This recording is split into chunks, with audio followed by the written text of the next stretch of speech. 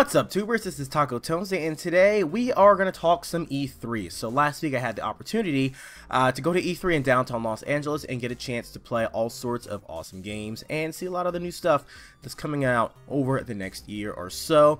So we're going to hop right into it. I'm going to tell you my top 5 favorite things from E3 and number 1 we're going to start off with Guitar Hero Live. You may be thinking, why is Guitar Hero Live on this list? Isn't that game just a rehash of a rehash of a rehash?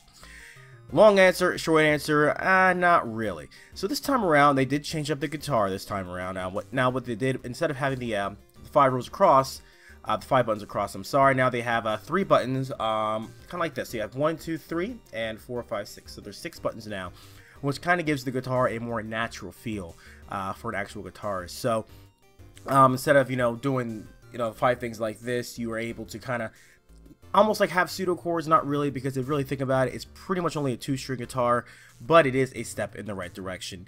And you may be wondering, well, why does that make a big difference? Well, let me tell you what it does. It does change everything. Um, I am a Guitar Hero player. I've been playing the game for quite some time. I actually, let's, let me back it up. I haven't played in a while. But um, back my freshman, sophomore year in college, I played a lot of Guitar Hero. Um, expert and all that kind of stuff. You know, I self-proclaimed best person in my dorm room, by the way. But um, I did play a lot of Guitar Hero. I played on Expert, and it was it was really really it was a game I was good at. I'm not gonna lie. But um, while I was waiting in line to play the game, I noticed that uh, the game had only had three tracks uh, going down. So you had you know one, yeah, three in the middle, or just three tracks going down instead of the normal five. So I was thinking, kept saying, okay, maybe these guys are playing, you know, an easy or something like that. Maybe that's why there's not five tracks. But I noticed as I was watching more and more that there was never more than five tracks.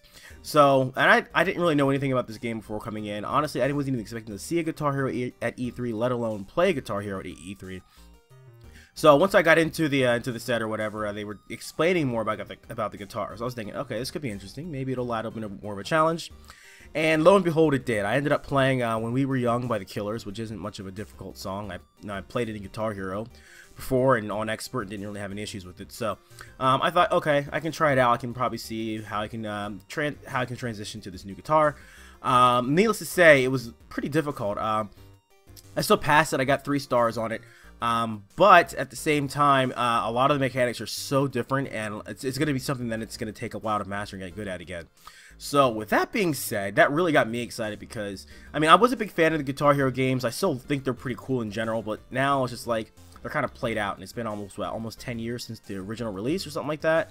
So I was thinking, all right, well, maybe I'll give it a shot. So, but anyway, um, long story short, I'm excited for the challenge of learning how to uh, use this new guitar because even playing it on regular, which is pretty much which, which I think would be like the medium level um, from the previous games, uh, it really did bring a lot more of a challenge to it, and that's going to be really exciting to me as someone who wants to master this game, who's already mastered the original Guitar Heroes. This is something I'm excited to try out. So, um, so yeah. So also a little bit more about this game. Um, you played in first-person mode, kind of. It's it's it's like a weird pseudo first-person mode. So before you used to see shots of the band playing and the crowd and all that kind of stuff, but now it's like you were the actual guitarist on stage, and these are on the front of a live live audience. I think different venues as well. So um, you'll be, get to be able to see up close and uh, personal the reactions of the crowd and your other band members as you play well or play like crap. So that was pretty cool. Anyway, uh, release date for this game is uh, set right now for October October 20th, 2015. Um, it's about $100 for the game and the guitar bundle, which is, is actually not bad of a price. Um, and it's going to be for every, pretty much every uh, platform except for PC. So PS 360, uh, Xbox One, PS4, and Wii U. And I don't think there's Wii U support, but nobody plays Wii anyway. So anyway, so that's Guitar Hero 5. Moving on to number 4. Street Fighter 5. What is up with Street Fighter 5? Uh, I'm pretty terrible at Street Fighter, I'm not gonna lie. Uh, I'm not very good. I also played Street Fighter 5 on the X, or played Street Fighter 4 on the Xbox, which didn't really help transitioning into playing Street Fighter 5 at E3. But um, nonetheless, the game looks great. It, it runs fine. Uh, runs great, I should say. Um, looks to be silky smooth, 60 frames per second, which is pretty important to me at least. Um, the new engine handles the game very well. Uh, the character character movements are fluid. Um, the moves are fluid. The particle effects look awesome.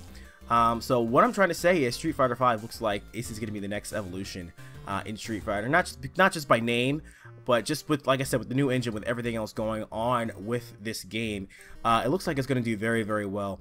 Um, at E3, they had the opportunity to play on a PS4 sticks and uh, fight stick. Uh, like I said, I'm pretty terrible at both. I, I've dabbled with the fight stick every now and then, but um, I wasn't very feeling very confident. So I thought, okay, I can go in with the uh, PS4 controller and maybe not suck. But um, I don't think I won a single round at all this week, which is cool. It's fine. But um, yeah, whatever. The characters look awesome. Cammy's looking great as usual. And you know what? They had six playable characters there. They had Birdie, Nash, Ryu, Chun-Li, Cammy, and Bison.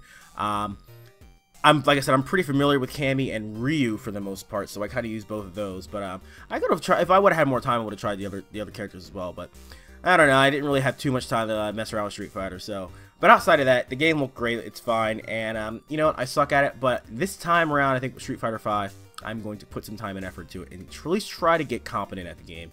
Um, it's obviously coming out for PS4 and PC sometime in 2016. I think it, I think I said saw somewhere in March or something. So, um, anyway, number three. Number three is not so much a game, but a set of games. It looks like there was a return of the JRPG this year at E3 2015, which is pretty sweet because I'm a huge RPG fan and I love those turn-based JRPGs.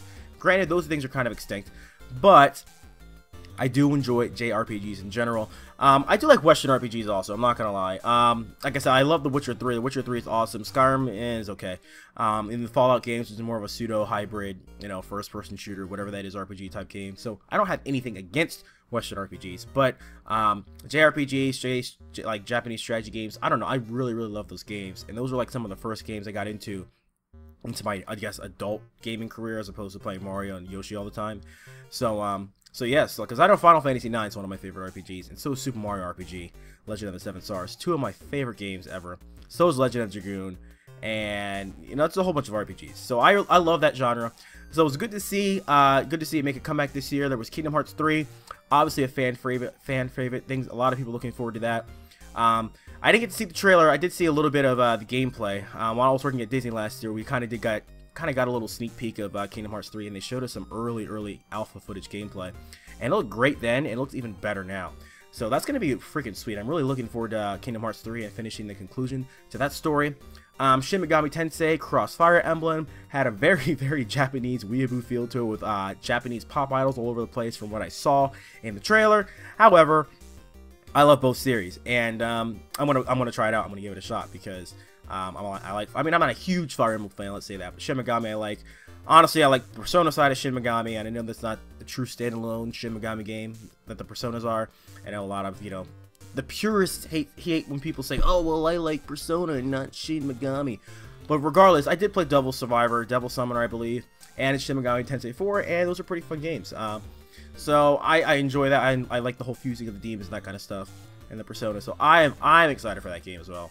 Um, the Final Fantasy VII remake, everybody's cup of tea at E3. Everybody's waiting for this game for years and years and years. We never thought we'd get it, but it looks like we finally did. Um, things I'm kind of hoping for, I kind of hope they keep turn-based uh, stuff going. Like I said, I know a lot of um, JRPGs and that kind of stuff, RPGs in general, are going towards a more action-oriented uh, combat system. Um, although Final Fantasy 13 did kind of turn back the clock, but they kind of butcher that combat system in my book, and not to mention the game sucked. But with Final Fantasy 7, I hope that they can uh, recapture the magic of the original on PlayStation and keep the battle system intact. I would like to see a return of a uh, dedicated turn-based RPG, at least just for once. Like I said, I know people don't play them anymore. They're not popular, they're not chic, they're not sexy, but with Final Fantasy 7, I don't want to see some type of like, you know, butchered, bastardized version of a combat system. However, I do like the Final Fantasy X-2 combat system, or Final Fantasy X in general. If they want to do something like that, I'd be okay with. But at the same time, I want to keep it pure. Keep Final Fantasy, keep Final Fantasy VII pure. That's all I'm saying. And another RPG I was really excited for was Persona 5. I, like I said, I, I do like Persona. Um, huge fan of Persona 4 and Persona 3.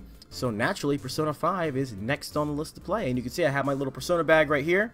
I got it E3, so that's pretty cool. So that's really the only Persona swag. Yeah, that's the only Persona swag I have. So um, actually, I did get a Persona 4 T-shirt. I got to dance on stage and make a fool of myself in front of a bunch of people, which is cool. So, yay, T-shirts! But anyway, uh, yeah, Persona 5, uh, they didn't have much else in the way of trailers or gameplay at E3 other than what we've already seen from the uh, Atlus reveal, I guess, a couple months ago.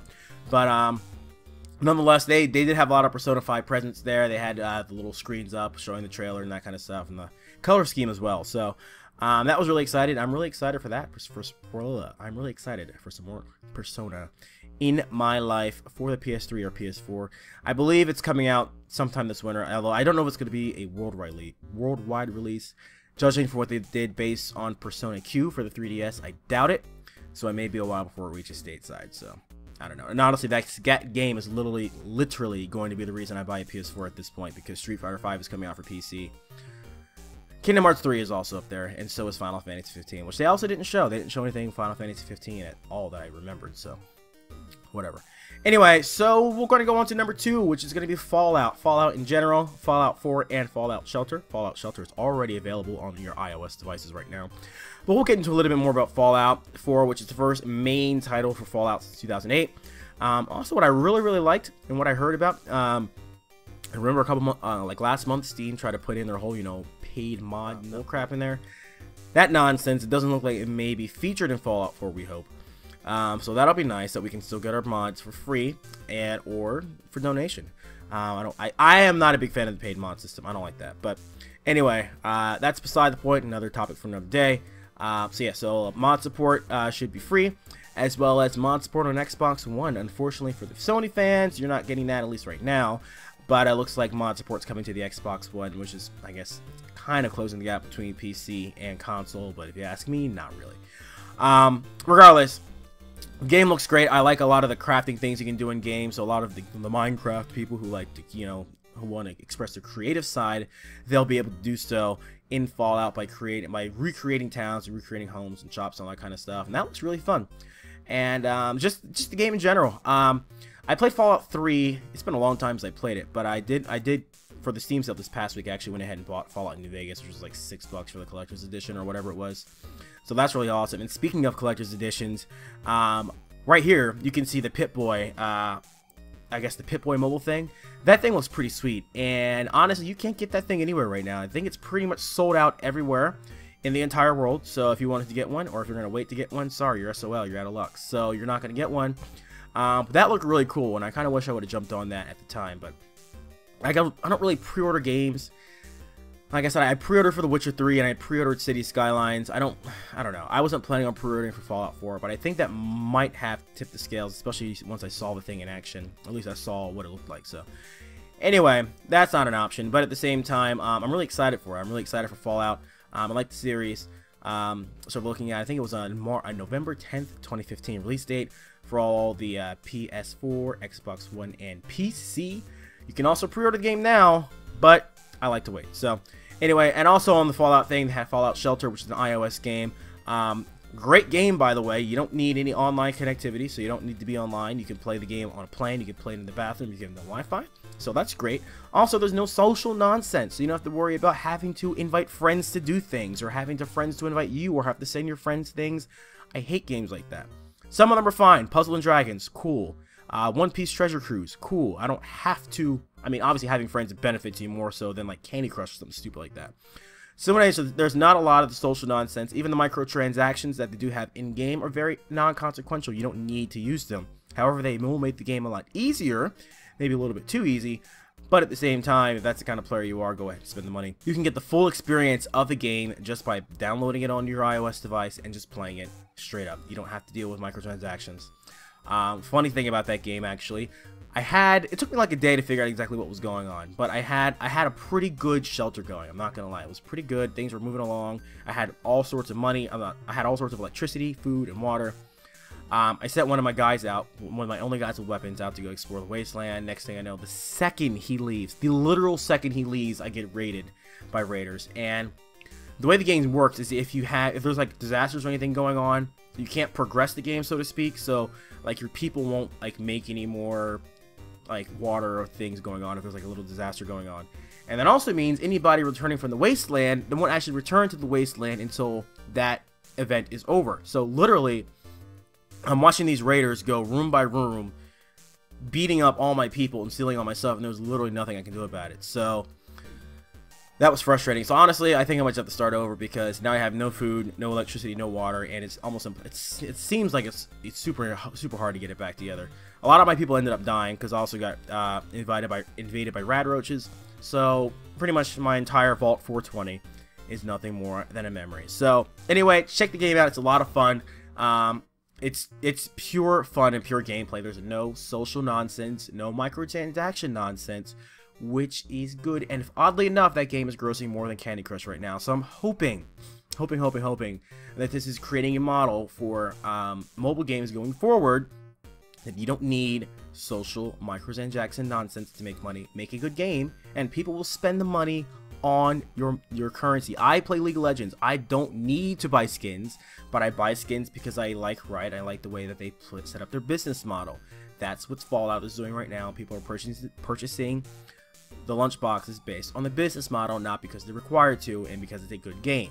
Take notes. Anyway, before I get to the one, number one thing, I'm going on a little rant here. Um, a lot of the awesome indie games they had going on there, they had Untangled, um, which honestly, if you watch the EA press conference, just the guy presenting the game alone was, enough to have me like, oh, I need to buy this game because he just looked so awesome up there. He, he was trembling, he was so nervous, um, sharing his lifeblood, sharing his dream of this game he's put out and um, in front of a huge stage at the EA press conference. Can you imagine doing that? I know I couldn't. And um, props to him. Um, props to the developers for putting together. What looks like to be looks to be a pretty cool platformer. It looks to be really really look great looking. You know, aesthetically it looks awesome. So that's something I'm looking forward to. Heart Forth Alicia.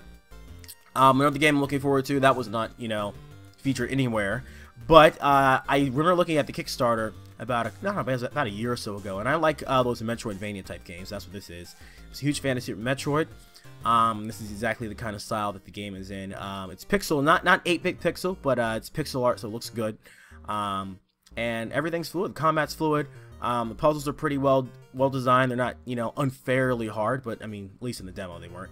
But um, the puzzle and yeah, the puzzles are cool. So you, obviously, if you haven't played any of these kind of games, so imagine like you have a big map, and essentially the entire map is, is accessible to you if you really want to think about it that way. But the only way to get to certain parts of the map is you know to go back. You need to go on like to a different area in the map or something and get a weapon or a power up or something that will allow you to go back and complete something. So yes there may be a lot of backtracking in those games but backtracking is important because you need to go and find things in order for you to progress. And those games you can sink so many hours in those games are a lot of fun so I'm really excited for Heart Forth Alicia, which is coming out for PS4 and Vita, I believe, and also PC. Um, Cuphead, which had like a more of an old school Disney style esque uh, artwork, I thought that when I saw that, I thought it was a cartoon. And I know it's not it's not Disney itself, but it's so Disney inspired. It looks freaking amazing. I didn't realize they had a demo of the game, so literally I was pretty much there was 20 minutes left in the conference left for the show. I was pretty upset about that. So I don't know. I think it's I think it's only Xbox. It was shown at the Xbox um, press conference. I hope it's coming out with a PC release because I'd like to play it on PC. I'm not buying an Xbox for an indie game. I'm sorry, but the game looks great itself and Horizon Zero Dawn, which wasn't. And let's see, I think I believe it was in the PS4 conference. I forget who the developer was. I don't know if it was an actual indie title, but that game looked pretty cool. It was um, that was that was the game. You were kind of like the the late the girl with the bows, and you were you know you were going after the mechanical um, you know the dinosaurs and all that kind of stuff. So that game looked really cool, just based on uh, that trailer. I think that gameplay too, and it looked really freaking sweet. Also, another thing, the VR. Uh, my first time touching VR, looking at VR. I'm convinced that VR is the future because VR looks sweet. First time putting on a headset, I wasn't expecting too much. Put it on, it was great. I played Adrift, which is made by 505 Games, which is having released this year on the Oculus Rift. And let me tell you what, I felt so immersed. Um, I hate that buzzword, but I felt immersed. Um, basically, you're in space, you're kind of drifting around, you don't know what's going on, and boom, you know, you, you can feel it. And there was a point where I was like, I don't know what I was doing. It was hard to control because you're drifting around everywhere. And I know I'm like all over the place and like I, I felt myself like oh man I'm starting to feel a little strange here I don't know if that was the effect of the VR headset itself or of the game but I tell you what it really felt real just a little bit it felt almost like the, especially the first time I put it on and doing it it, was a surreal experience so you haven't had a check a chance to check out VR I definitely suggest you do so and um, if you do happen to be going to E3 next year check it out uh, unfortunately on that side note, uh, with augmented reality, I did not get to check out HoloLens I'm pretty upset about that, so I'm going to have to read up about that because I really want to see it. And that got huge rave reviews at E3, so good stuff for them. So what do you ask beats out Fallout this year for my number one? None other than Mario Maker. And yes, I'm a huge Nintendo fanboy, but that had nothing to do with my excitement for this game. I'm actually gen I'm genuinely excited for this game because of all the possibilities and a lot of the creativity that's going to go into this. Um, so I got a chance to play it. I got to play some of the Nintendo World Championship levels that they had featured uh, early throughout the week. That was really, really cool. Uh, and just being able to um, go through those also that I had seen before. Um, I was watching a guy in front of me play the game also, and obviously I, I guess he kind of picked up a strategy. But um, since I already known, like, the, the, levels were pretty easy, but if I wouldn't have known anything, these would have been some pretty tough levels. And I'm really excited that uh, Super Mario Maker is going to bring back the challenge of the old school Mario games. Maybe, yeah, still it may not be done by Nintendo, but I guarantee they're out. There are a lot of talented level creators out there that are going to put together some awesome stuff. Um, so yeah, so playing the levels is great. Um, also creating levels, you, you also you get to I mean the name of the game, Super Mario Maker. You create your own levels.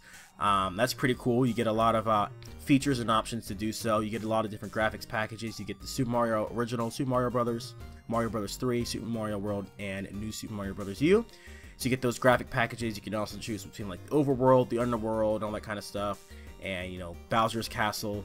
So you get a, you, will get a, a, large variety of different types of uh, levels you can create from. And also the music as well, and the music coincides with the levels, so you'll get the full experience of what a real Mario level should look like. So, um, so that was pretty cool. I got a chance to make a level. I had my friend play it. He made fun of the level the whole time, but um, when he actually went to go and try to play it, he died a couple times, and that was pretty fun. And that was the, my favorite part of the game, was watching my friends fail um, at the level that I made. I thought it was really, really fun. So, uh, Mario Maker... so, Mario Maker, in my book, uh, stole the show for me outside of a really, really lackluster E3 for Nintendo, which was pretty disappointing.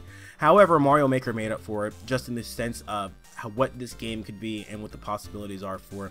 Um, Obviously, you'll be able to upload levels onto Miiverse, and you'll be able to download levels on the Miiverse. Um, the only stipulation is you, you need to be able to beat your level, which, you know, should make sense, because why would you want to download some trash you can't beat? But um, that's going to be awesome. What I hope they do is they hope they implement some sort of rating system or download system so you can filter out, you know, a lot of the trash levels and get the best levels on top, so that way you know um, what, what are good levels, and also you can see how your, your levels stack up to those of other people. So um, I'm really excited for that.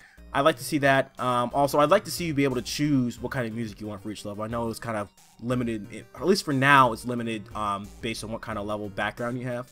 Um, but I don't know, we'll see. That's just me nitpicking. And also does come with amiibo support. So uh, if you have like, you know, Wii Fit Trainer amiibo or a Kirby amiibo, you can use that. Oh, by the way, good luck getting any amiibos. You can use that amiibo on um, on your on your on your Wii U system, and you can also you can use like 8-bit sprites of those. So I, I I know I play with the Kirby sprite. Um, I saw a Wii Fit Trainer sprite. I mean, it doesn't really add much gameplay mechanics, but it does look pretty cool watching Kirby and Wii Fit Trainer going through your levels. So that is pretty sweet. And um, so yeah, so now my phone is going off for whatever reason, so I'm going to end this right now. So those were my favorite things from E3 that I saw this year. So tell me, what were your favorite what were your favorite things you saw at E3? Do you disagree with anything I might have said? Why I'm anything you may be wondering why I'm hyped up about something or anything I might have missed? Please sound off below in the comments, and I'll be sure to respond. So thanks a lot, guys, for checking in, and happy gaming. See you later. Peace.